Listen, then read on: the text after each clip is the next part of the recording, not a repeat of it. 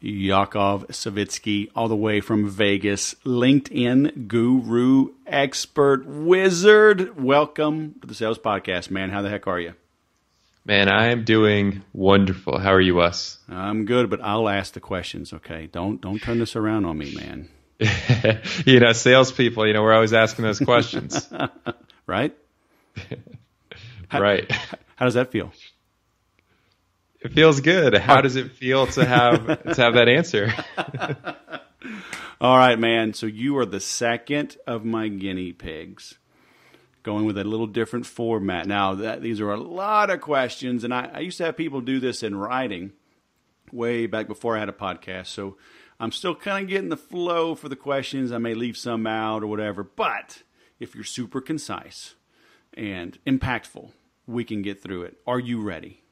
Well, let's do it. We can try. So just like in a court of law, right? You ask these easy ones like, "How long have you been in sales?" So it kind of gets you in a flow, and you think you got it covered, and then, then I hit you with the the big ones. But how long have you been in sales?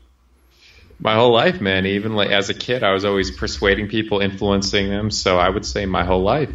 Come on, now. Are we supposed to believe that? I mean, I don't believe in the born salesperson. I think that's more more or less of a, of a lie. I think everyone can get skilled up and get better. But absolutely, man, I've just always kind of had a knack for communicating with people, influencing, persuading, and that's something I've always enjoyed doing. So when did you start doing it for money? when did I start doing it for money? Man, well, the first time I got paid to sell something, I was just in the neighborhood and I was selling my dog walking services. So we could say, uh, what, 14, 15 years old, and I was selling for money. But I, I know what you mean. You know, I'm kind of I'm, I'm, messing around a little bit here. My no, first, that's that's awesome yeah. though. I mean, I I've been telling my son for years, both of my boys, and, and they're gonna about to turn uh, uh, 19 and 20 and I've been saying that. You know, I was like, go offer to wash cars, go mow yards, go walk dogs, go scoop poop, right? There's a whole franchise around scoop and poop. Uh, that's so getting out there and hustling at 14, dude, that's legit. Yeah, I mean, it, there's there's always that sort of opportunity. So that was my first sales thing, and then I, I was in school. You know, I started a fraternity out there, so I was selling people on joining that. That's a whole whole different thing. That's really the first time I was selling an experience, right? Selling potential. It's one thing to sell, you know, a time for money service. It's another thing to sell potential or an end result, as you know. Yep. Cool. Uh, do you have a particular sales methodology you follow?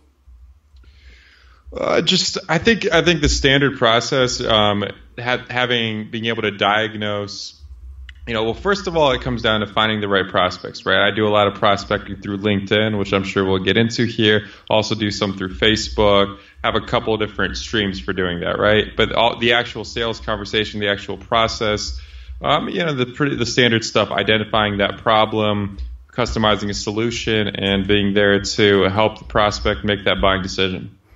So you say customize. I mean, do do you customize? Do you do you try to have a standard offering and just find the right prospects that fit into that? I think with high ticket you have to customize, right? You're doing a prospect a disservice. You know, if you're charging anything more than 997 and up, you're doing someone a tremendous disservice if it's not the right fit for them, right? And I I found that out more and more as I've gotten into what I'm doing now where I can say, sure, I have this info product that's going to cost a little bit less, but is it really the right fit? Is it really going to help them get the results that they want to get? And oftentimes that's not the case. So realizing that and customizing it and having, you know, the right solution because the most customized solution is me working with someone one on one. Now, not everyone's going to be able to want to invest that much to have that happen. So it's really finding out, you know, where they are and how to bridge the gap to where from where they are to where they want to be. Yeah, cool. Uh, I mean, do you attribute that to any particular sales trainer or anything like growing up? You know, did you try to emulate anything or did you learn a particular methodology like in corporate America? Or is, would you say your method is just kind of self taught and through accumulation and, you know, osmosis of being in the business? Man, I think most sales training sucks. So I'll, I'll be honest with you. I think a lot of it is outdated It's not easy to understand, and it's built to constantly upsell and make more sales. And there's nothing wrong with that, right? Because the people who came up with it are salespeople. So right. I mean, more power to them. However, how I really learned how to be more systematic about selling, a couple sources. You know, I'm in Ryan Stewman's program, so learned a lot of the prospecting stuff from him. But you know, we all we all know like Grant Cardone and those old school guys, Zig Ziglar, Brian Tracy. So studying them as well. And then when it comes to marketing, Dan Kennedy. But you know, one really good book that I read a little while ago. I was actually selling timeshare at one point, believe it or not. So that we could get into that story. But the top guy, he recommended this book. It was a small little book, about 115 pages. It was called Secrets of a Master Closer. I believe the guy was Mike Kaplan, and he's got like an eight-step process. And essentially, all professional selling processes. I mean, they are the same, but it's just a little bit of the nuances and how things are worded and presented. Right. And so I, I, read this book, and it really it was the simplest breakdown of the sales process, especially the B two B process that I had ever seen. So that that that was one that was really good, and a lot of people haven't really heard about. Yeah, I was. I'm thinking, oh yeah, he's going to name a book that I know. I'm like, uh, yeah, I don't know that book. Secrets of a what? Of a master closer. Secrets of a master closer. All right, I'm I'm looking it up. I'm going to add it. I'll add it to this interview right now. Sweet. Um, so, who who was your favorite sales manager and why? Favorite sales manager, man. I've had had a few different ones. Ah, that, that's a really good question. Let me see.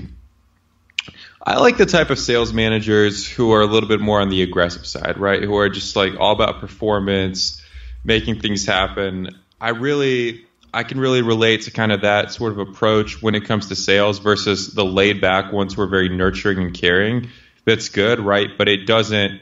I think when it comes to really sales, and especially when it comes down to closing, we all have to be able to channel that that certain competitive energy, that drive to really just push ourselves. And the type of manager who I really work well with, and even the type of client who I work well with now is someone who has that achievement motivation, who wants to get those results and is willing to, you know, put in the what what's required, put in the energy, put in the time, and really stop at nothing. So you like to be aggressive. I mean, it, does one come to mind? Like, was it your timeshare manager or? Yeah, the the timeshare guy, he was really good, man. The guy, he was smooth, just kind of charismatic, but he was still aggressive. You know, no nonsense getting stuff done. So, but it's also, you know, I think the the thing that holds a lot of those aggressive A type salespeople back is not having an open mind. You know, we'll talk about the old the guy who's been in sales for 30 years and you know, he's got a big ego about it. He's done well, but if he's not willing to adjust and learn about things like LinkedIn prospecting, for example, he's going to get left behind. I don't care how good of a salesperson he thinks he is. Right. Sales has just changed so much, and that's really the huge opportunity that's out there today. Yeah. Uh, what's the most you've ever sold in a year? Most I've ever sold, man. I'm. It could be money, or it could be like total deals. Uh, I couldn't. I couldn't tell you the exact number. I mean, that's it's a really good question. I think the, the answer that I want to give you is every time, every you know, every step in the sales process is its own little sale, right? So. Sure getting someone to say, who the hell is that guy and what's he talking about, to, okay, this guy clearly knows his stuff. I want to listen to him and eventually invest money, right? Because that, that was a big change for me going from the corporate job that I had to making my first sale of what I do now is, wow, this person is a business owner. They've been in business for a while and I can really help them and they're willing to spend money. And like when I made that sale, I realized it's, in a way, that sale in itself had its own significance because I realized she's paying me for something that I've created, that I've come up with, versus something that I'm doing for someone. And that was that was a big thing. That was a big realization. So, you know, just no matter what that number was, just you know, the fact that that money was exchanged for the value and that those were the circumstances. That really kind of opened my eyes to what's possible. And i think you know as, as, you guys probably know your audience you know it's not a secret. I'm a fairly young guy. I'm not much older than your sons. So i'm i'm not like this 20 plus year in the business you know old sales dog. But every transaction man every sale that i make you know every new client acquired is a relationship right? So when that when that comes into fruition, when that really begins, that's the point where I just always enjoy each one, no matter how no matter if it's for a you know something that's a little bit more low ticket or if it's something high ticket. I just always enjoy that process and enjoying at the end of the day that that person committed and said yes and put their trust in me to deliver the result. Right. Um, do you remember your biggest like one time close? Yeah, that I, that I do remember. So to this point, when I was working, I was selling uh, third party logistics. So for anyone who doesn't know what that is, you buy something online, it gets picked, packed, shipped to your door. The company I was with, we did the picking, packing, shipping at our facilities, and I was on the B2B sales side selling to these e-commerce companies. And the biggest one I closed was for about $130,000, and that was B2B, um, working with the decision maker. It was a kind of we did it in about a week and a half actually. So she had a need, and it was it was a pretty quick process. But I mean, I remember the stress that came with it. And people at the company, we they were used to a slower process, and I was like, guys, come on, let's go, let's go, let's go, because I knew she was ready to make a decision. She had a ton of questions for me, but that one felt good. So that, that's the biggest one to date. So you said it was 130, and it took just a week and a half. Was that right? Yeah, but she was an inbound lead. I mean, to be to be fair, she was an inbound lead, but she was definitely shopping around, and and it, it's a complex sale as well because she has a specific product. She's got to know that we're going to do all these different things for her, and that it's it's the right fit for her. So I'm not going to take entire credit that I went out and found her and you know made right. a phone call or did something epic like yeah, that. Yeah, that's but, fine, but you handled yeah. it. I mean, because sometimes uh, those inbound leads can be tougher uh, because they're shopping right? And they have their Excel spreadsheet and they have literature and brochures and even quotes from your competitors. Uh, and you're going into it blind, right? Most rookie salespeople are like, "Hey, boss, I got a live one. This is a sure thing." They called me, and I'm like, uh, "My my antenna's up." You know, when that happens, like, "Whoa, let's," you know, bluebirds don't just happen magically. you know, yeah. It's like, what's going on? Uh, and so, uh, I mean, it's cool. So you handled it. So why why did she buy from you? Because she probably was shopping, right? Yeah, she absolutely was, and she told me right off the bat. So it's kind of paradoxical, right? We always get excited. Inbound lead, it's a sure thing. We're going to close this one, but then they always make it clear that they're shopping for a reason. They have a need, but there's plenty of competition, and that field does have plenty of competition. So I think what she really enjoyed was just like me really taking the time to speed up the process, not BSing her, just giving it to her straight up, and really the issues and the challenges she had right away, customizing a solution and making sure that not only she felt like she was listened to, but just giving it to her frank and giving her the pros, the cons, and saying, look, you know, it's it's going to be one thing if you want to shop for price, we're not the cheapest ones, but if you're looking for the best service and the best fit, this is what we can offer. And that's that's really the, the key thing because, like you said, a lot of inbound leads they are price shoppers, and anytime they're buying based on price, I think a salesperson and a business owner is just putting themselves in a hole. It's just it's not a good way to start that relationship. Yeah. So, what did you learn from that process? To take time out of the equation, to be transparent, um, to communicate clearly, but to also listen. And you know, I, we're all growing as salespeople. I'll be the first to admit I'm not perfect. I'm not you know near where I want to be, and that's okay, right? But just listening, you know, shutting up, listening, and then responding accordingly. But also keeping my frame, you know, and not buying into some random objections or you know sometimes we get prospects who test us and want certain things and a lot of the times just to see if we're really who we say we are and so learning all those things and putting those pieces together. I mean, it was a good feeling when that one closed. Absolutely. Yeah, that's um, you know, it's funny you talk about, you know, like like why did she buy from you? And you said because you were willing to speed it up. You know, most salespeople are like, what? You know, I'm always willing to speed it up, but in reality, a lot of salespeople like.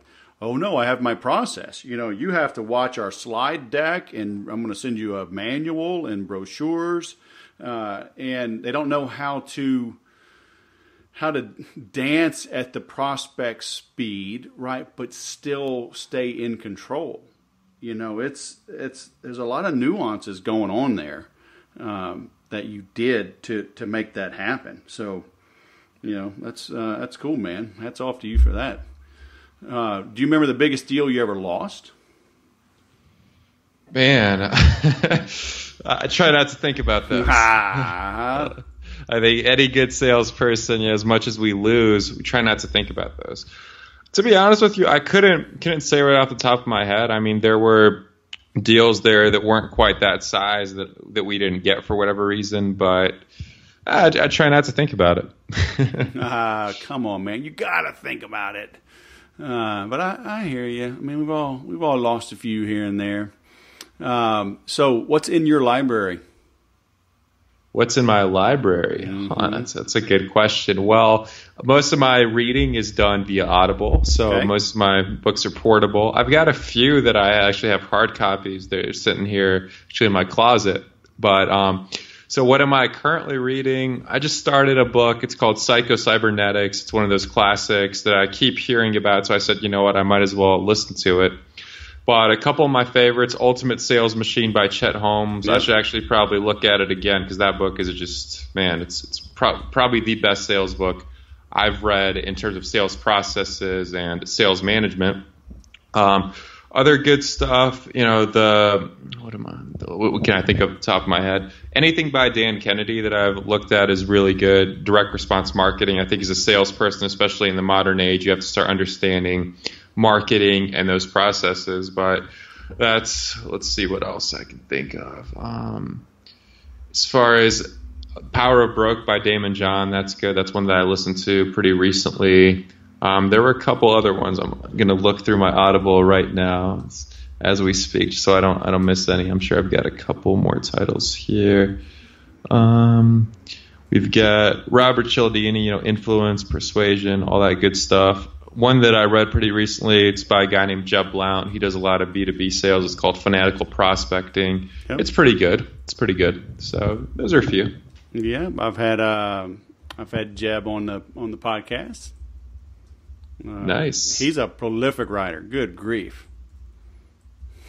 yeah, yeah. I mean, he's a very knowledgeable guy. I like the way he, you know, he looks at things holistically. There's a lot of people, and we can we can kind of segue. I'm sure we, as we will here in a second, but there are a lot of people in the camp of this whole social selling thing that social media is the only way to prospect now. Cold calling is dead. All that stuff. Then there's the other camp that's like, no, cold call, make 10x harder, more calls. You know, th- that sort of camp. And I like how he's he's sort of in the middle, and he makes a good point. All right, both of them are effective.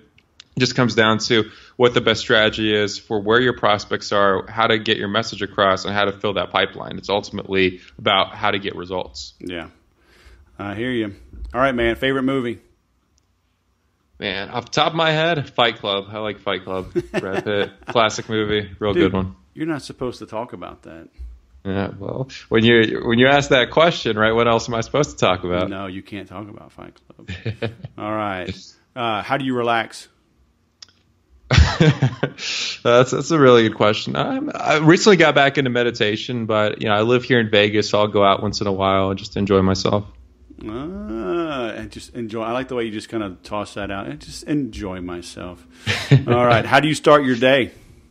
How do I start my day? Well, on a good day, you know, I'll wake up, I'll do I'll do my thing in the bathroom, you know, put contacts in, do my hair, all that good stuff. Then I'll write down my goals, and I'll start with some education, either reading, video. Like to start it that way. That's that way, you know, I feel in control. I'm starting it on a positive note, and it starts to build momentum. Um, do do you avoid email first thing? Yeah, absolutely. I, I don't do email until I educate. Unless, you know, unless something dire comes up that I'm expecting, but no, unless you know, I never do email first thing. My phone's on airplane mode until I decide to take it off airplane mode. So first hour of the day is usually on airplane mode. Nice. Very cool. How do you end each day? I'm kind of the same way, you know. Um, I'll write down my goals, take a shower, and yeah, I'll you know listen to some stuff, try to get in a good mindset, and yeah, Okay. Uh, do you get eight hours of sleep? Usually not eight. Usually between seven and eight. I try to. I find that when I get less than six, it's just it's. I'm just not the same person. But I try to get closer to eight. It just depends on the day. Yeah, that's cool. That's still pretty good compared to most. Um, what's your uh, what's in your pocket, man? What's your smartphone? You said airplane mode, so is that a? I'm going to guess an iPhone. It is not an iPhone. I'm an Android guy. I've Ah. always been. Maybe one day I'll do iPhone, but I've got an S5 right now, Galaxy S5. Ah, very nice. All right. What about uh, CRM? What do you use? CRM, man. I just started using Zoho. It's not bad. I've heard good things about Pipedrive, but I'm, I'm more about the autoresponder. And I mean, I keep it like with my business right now. I use a lot of social media. I use spreadsheets, all that kind of stuff. But I mean, I've never never been the best at CRMs and all and all that good stuff. So maybe I could take a page or two out of your book. Man, there you go. You know, there there might be a quiz over at bestcrmforme.com. Best CRM for me. I'm saying everybody, best CRM for me. There might be a free quiz you could take to find out the best CRM for you. Or you know what? You could head on over to the CRM Sushi podcast and check that out as well. But I digress. All right, man. How do you stay organized? So you already kind of mentioned it. So Zoho, spreadsheets, uh, you got online tools, you know, Evernote, things like that. I have an app in my phone called Keep. It's a Google app, and I Oh. plan my day out every day. And I don't I don't use Evernote per se, but Keep can also sync with email. And if I if I you know need to remind myself, I'll do an email. I'll make it a draft, and I'll just you know keep it as a draft. But other than that, I've got I use Google Docs. I use you know spreadsheets if I need to. But I mean, I, I keep it really simple. I don't have any super complex. And as you know, this company grows, I, I'm sure I'm going to have to get a little bit more systematic about some of those things. But right now, I just keep it simple because I'm a one man shop at this point. Yeah, cool. So, how do you handle or prevent slumps? That's a really good question, man. Because we all have them, right? Sure. So meditation's good. Like sometimes it's good for me to step back, or sometimes it's really good for me to just completely do something else, right? If I feel like it's not going well, go to the gym, go out, do whatever, you know, walk outside, but not not sit in the same place and just think, oh, what could have I done better, right? And just you know, getting back into education, right? So if I you know, if I feel like something isn't going quite the way I want to, or something, you know, didn't convert it the way that I wanted it to, I'll go back, hit the books, watch a video, and take a couple things away and start implementing. Yeah, got you. So, um, since you are a young buck, maybe maybe you don't even know this, but how would you say the market or the industry, the profession of sales, has changed in the last five years?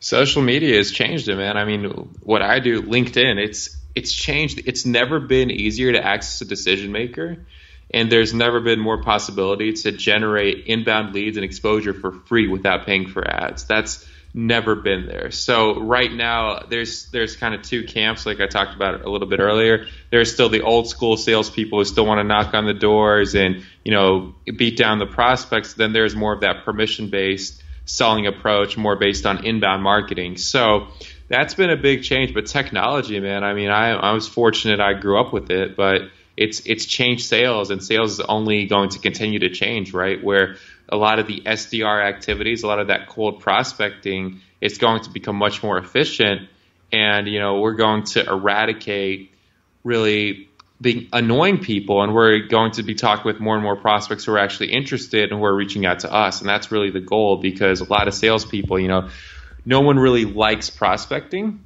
but now there are more efficient ways to do it and it's not as painful as you know making 200 calls a day to a list of cold leads. It's it doesn't have to be like that. For some industries maybe it does but now we have these technology we have technology we have these tools that can also help us throughout the sales process to make more touches and build that relationship manufacture a relationship that otherwise we may not have been able to manufacture.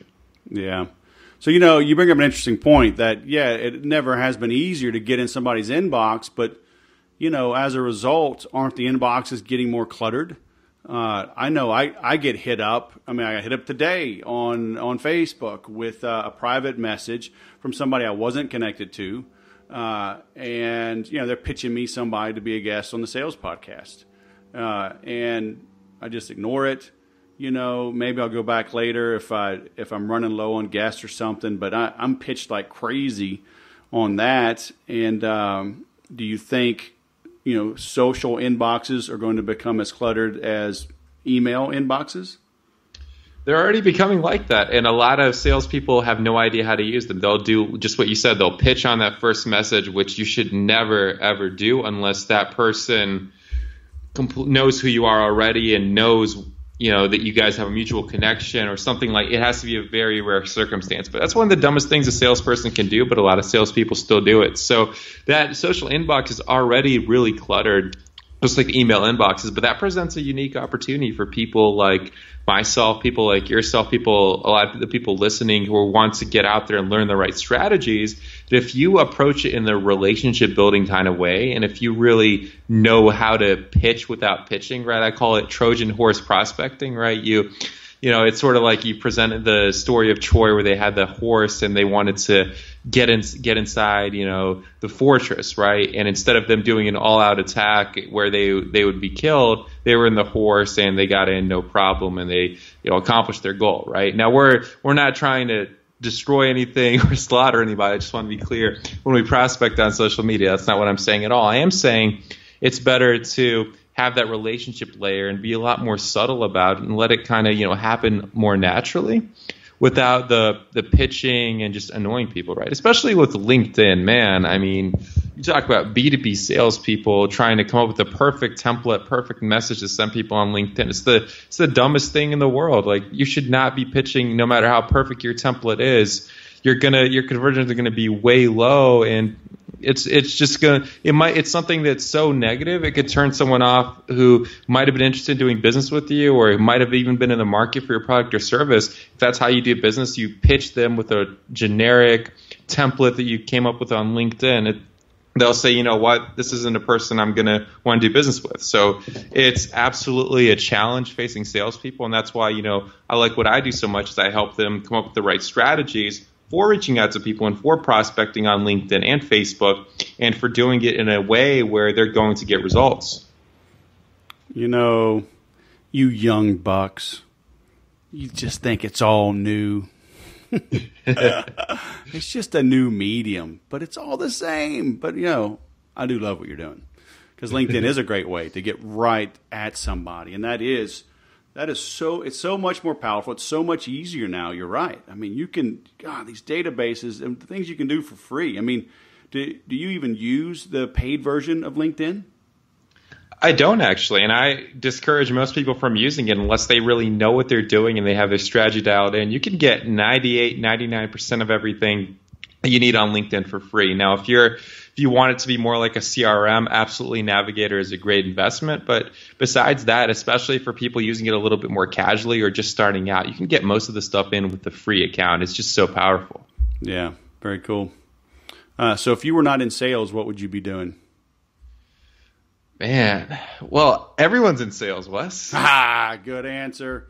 uh, but if you weren't being paid to be in sales, would you be like a dog groomer? Would you be a, a botanist? Um, a coroner? Come on, a singer. You'd be a singer, wouldn't you? Uh, man, I, I don't think I'd be a singer, man. I would. What would I be? You'd be you'd be with the guy. You'd be the thunder down under. That's what you do at night in Vegas, isn't it? I bet you, that's what you do. I mean, it's it's it's one activity that a lot of people choose to enjoy out here. I mean, it's it's a way of self expression. But those guys, if I if I really wanted to prove a point here, I would say those guys are salespeople, right? They're selling an experience. They're they're playing on people's imagination. They're creating interest, if you will. So they're still in sales. There you go. Amen. Everybody's in sales.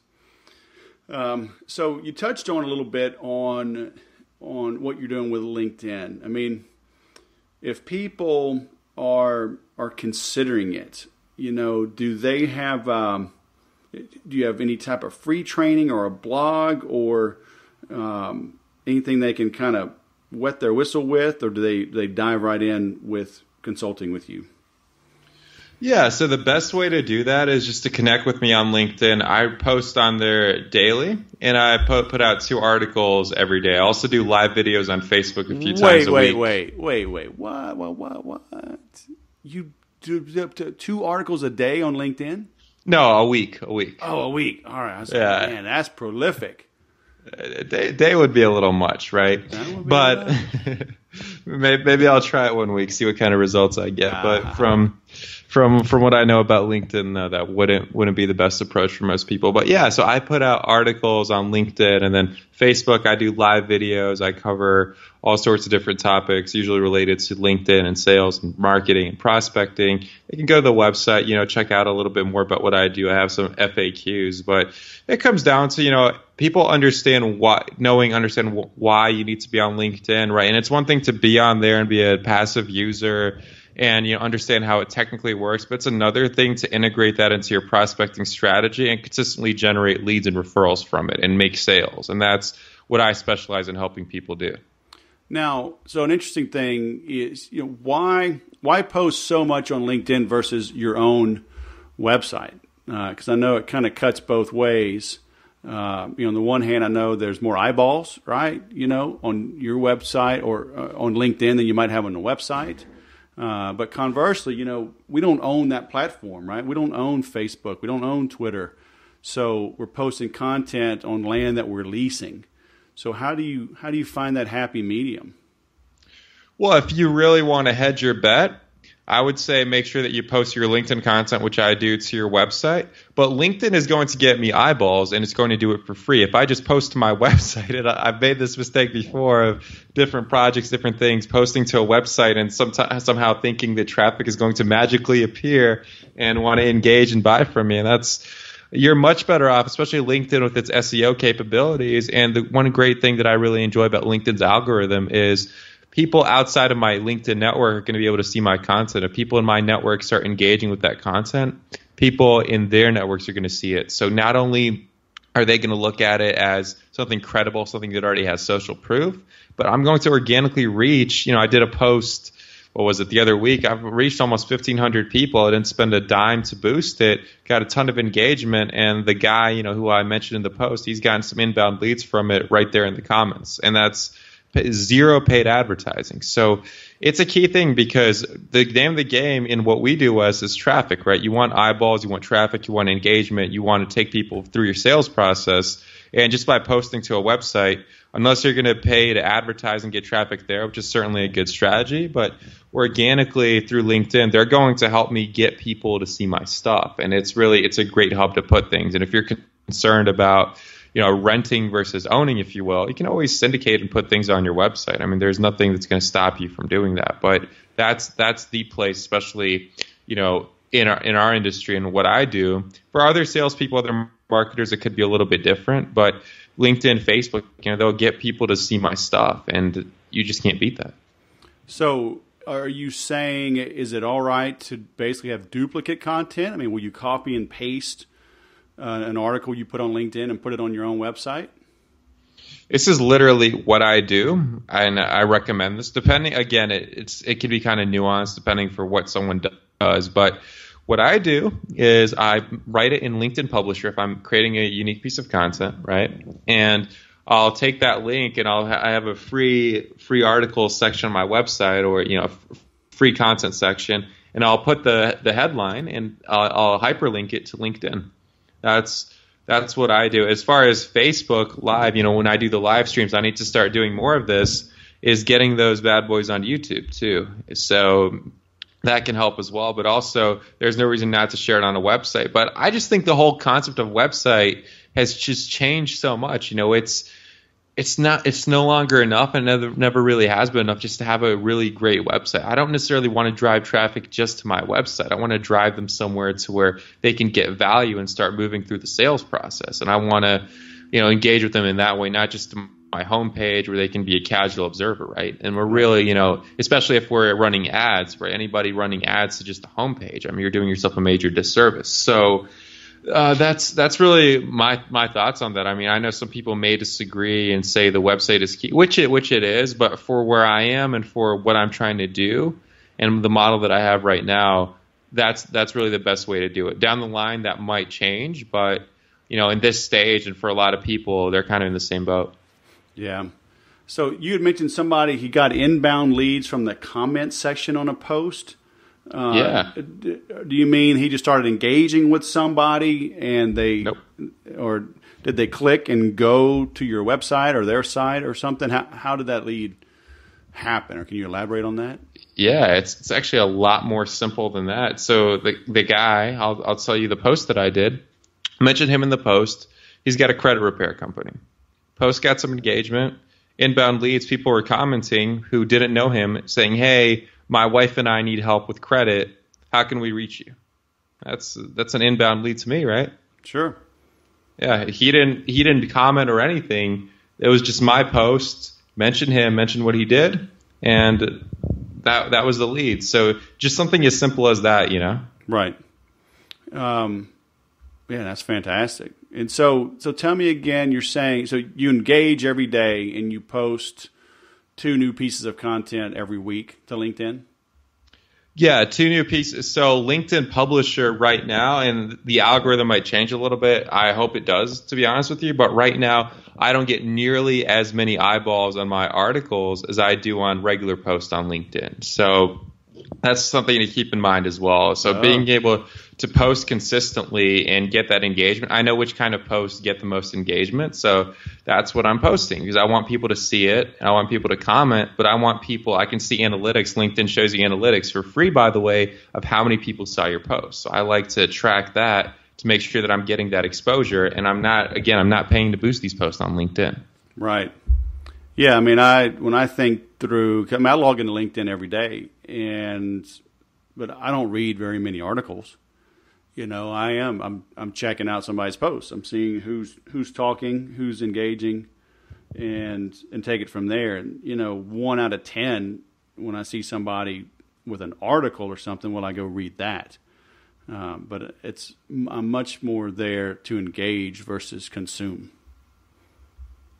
Yeah, absolutely. And you know, that's another great way to start building those relationships is engaging on people's content because a lot of content doesn't get engaged with, right? Facebook, LinkedIn, you know, you have someone who's a potential prospect what better way is there to initially start the relationship than to comment on something or to give it a like, right? Because they notice if if something's been up for 36 hours and no one's engaged, and you comment, "Hey, great article," or you better yet you ask them a question about it, how excited do you think they're going to be, right? That's that's a way to quickly get on their radar versus doing what all these salespeople are doing instead of sending this elaborate pitch message that gets them absolutely nowhere. So, in other words, you need to stalk the your ideal prospects? well, you know, we use the term social recon and developing relationships, but you have to be interested, right? Social recon. There's a nice spin. Are you in politics, man? yeah, I'm in sales, man. Everyone's everyone who's in sales is in politics. Everyone who's in politics is in sales. I hear you, man. I hear you. All right. So, um, so, final words of wisdom. I mean, what should our listeners do after uh, after listening to this? You know, they're they're on a they're jogging, they're on airplane mode, right? Because they're on an airplane, listening. They they can't log in yet, but as soon as they get back to their desk, what should our listeners do to put your lessons into practice and start growing through LinkedIn? Absolutely. So, if listeners are serious about using LinkedIn to generate leads, get more referrals, and fill their pipelines, I'll give you a couple of statistics here, right? If you don't mind. Sure. Number number one, average LinkedIn household income over hundred thousand dollars. So, people wow. on LinkedIn, they have money. The the people who are using the LinkedIn the most, they tend to have money. They tend to be more serious business people. So, even if you're in the B2C space, you have a huge opportunity on LinkedIn right? And a lot of the key decision makers, key executives, key influencers, they're spending more time on LinkedIn in terms of looking for motivation for business opportunities to build relationships than they are on Facebook. You know, sure they'll spend time on Facebook. But that's just kind of to mess around, right? But if they want to have that business conversation and if they want to think in terms of business, they're going to be spending that time on LinkedIn. Also, anyone looking to reach millennials, millennials are by far the fastest growing demographic on LinkedIn. So marketing to millennials, that's a whole new angle that you can take on LinkedIn. And I teach a lot of that when I work with clients. And the last thing that I'll mention, Microsoft bought LinkedIn last year, $26.2 billion. So wow. they're, they're, they're in it. Yeah, it's quite quite. You talk about a large deal, man. That's that's pretty. It's pretty big, right? So LinkedIn is definitely on the come up. It's changed recently huge opportunity out there. So if you're not utilizing LinkedIn to its fullest, and if you're in sales or in business, you're missing out on a huge opportunity. And now is really the time to get in. So if you're ready to really optimize your strategy, make sure that your presence there is what it needs to be, you can go to linkedleads.us slash consultation. That's linkedleads.us slash consultation. You can apply for a complimentary sales strategy session. What that'll be is we'll kind of go through where you are on LinkedIn, see where you want to get to, and I'll give you the recipe or the recommendation for what you need to do to get there for the, the next step and what will help you get to from where you are on LinkedIn to the kind of results that you want to achieve. Right. So, and for everyone listening, because I misheard it when he told me before we started hitting record, but it is linked with an ED, right? Yep. And uh, and we'll link to this as well in uh, in the show notes here on the podcast. Uh, and I recommend you check it out. I've been uh, we talked about this before. I was considered an early adopter of LinkedIn. They, years ago, they sent me something. I was one of the first hundred thousand, I think they said. And uh, and how many? Like four hundred million now, or six hundred million? Four hundred sixty-seven million and growing. That's amazing. So um, yeah. hey, I finally got into something early. that, that yeah, you, implode. you got in way early, man. Yeah. I. What, what year did you get in? Uh, I want to say I don't like 2004. Was it around then? Uh, wow. Yeah, I definitely wasn't on LinkedIn back then. I'll say that. When when did LinkedIn start? 2003, I believe. So yeah, you 2004 sounds about right. I, I want to say it was 04. I I was starting. I started with a startup. Uh, out of Austin, and I remember I got on MySpace then, and uh, I, I read a post, I read a book actually that was talking about you know grabbing your virtual real estate you know, and of course MySpace. I mean, I, I think I still have a login, but I, I, I don't log in. But it, you never know what's going to make it, right? So when something pops up, go grab some digital landscape so you own your place, and so so you can grow with it if it does grow. And um, so I know I got on MySpace, and I was using it for business, believe it or not, selling technology as a startup. Um, but I, I think I created my LinkedIn. Well, actually, will it tell us? Because like like Twitter tells you you know, user since blah, blah, blah. Let me see. What does my profile say? Oh, do you have to go into your profile to see that? Yeah, I'm. Uh, I'm curious. Let me see. View profile. So maybe under under your account. Yeah. So you got to go into your profile, and then. But yeah. So it yeah. says I joined Twitter in October 2008. So that's pretty early. Mm-hmm. Um, but does it tell you on LinkedIn? I've never seen it, but maybe it maybe it does now under your account. Um, I'm sure. I'm sure it might. I doubt it, but come on now. But yeah, yeah you, you stumped me, right. man. You, you stumped me already. Hey, look at this. Da, da. Member since January 5th, 2004. Nice. So I actually joined that before I joined that startup. I was with another technology company, but it was in telecom space, and they were struggling. And um, uh, actually, I got laid off like six weeks later. wow. Yeah, member since January. Look at that, man. I'm an early adopter. Woohoo! Yeah, 13 years. Awesome. All right, man. So this has been awesome. So Yakov Savitskiy. Did I say it right? Did I say it right again? Did I say it right twice? You did. You nailed it. Look at that, man. Awesome. All the way from Vegas. Uh, thanks for sharing your words of wisdom on the Sales Podcast, man. It's been awesome having you. Absolutely. Enjoyed being here.